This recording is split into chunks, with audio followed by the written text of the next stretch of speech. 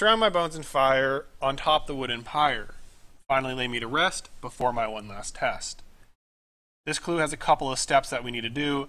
First, we need to go to the ancient cavern and kill a confused barbarian to receive the mangled bones drop.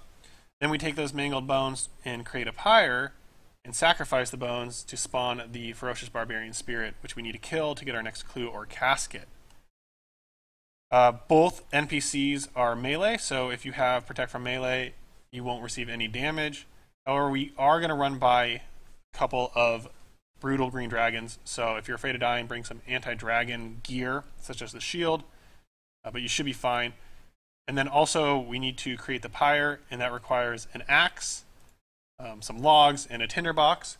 And do note that depending on your crafting and firemaking level, the log you use to create the pyre does make a difference. So if you have low levels, which I've provided on screen, the logs that you can use, um, crafting and firemaking are the levels you need to have.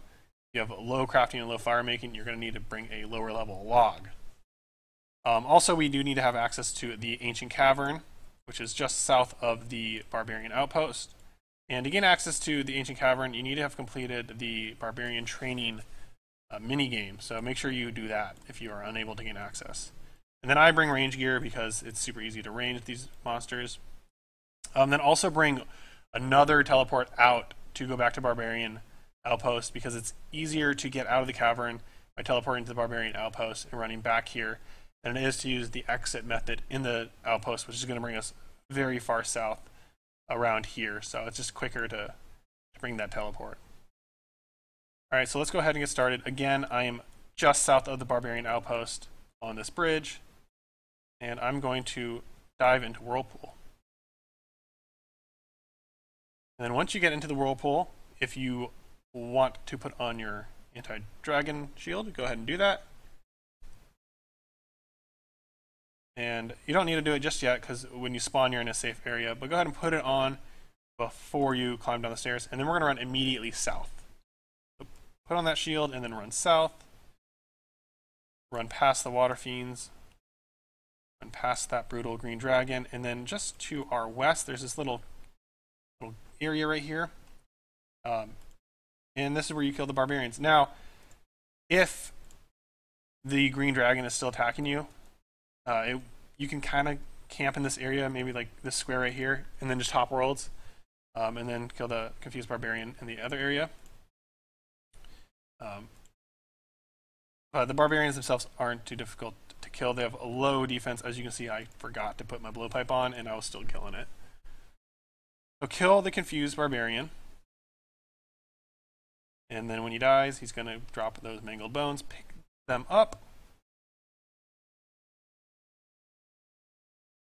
and then teleport back to barbarian barbarian outpost. And if you don't have a teleport, if you go north, there's a log that you can take out, or you can do a home teleport. Now run south. Again, make sure you have your axe, your logs, and your tinderbox. We're going to create that pyre now.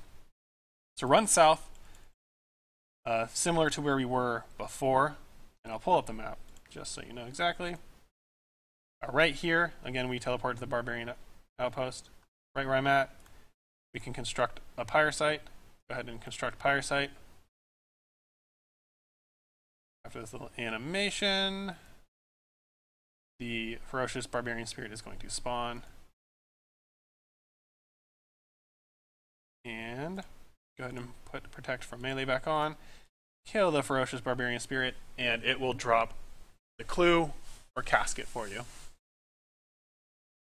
And that is how you do this clue step. I hope you found this video useful. If you did, please make sure to leave a like and subscribe to the channel. It really helps motivate me to grow uh, my channel and also post more videos like this. I also have a Discord, which you can find in the description if you'd like to join and chat with me. And I'm going to go ahead and finish off this kill just to show you the full clip of me doing this step and confirming that killing this thing will drop a clear casket. And there you go.